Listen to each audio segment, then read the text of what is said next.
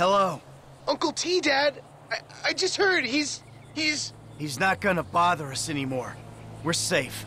Uncle T, he was a good guy. No, he wasn't. He was dangerous. Uncle T? Did you do it? Did you, Dad? Uncle T wanted to kill all of us, Jim. He wasn't well.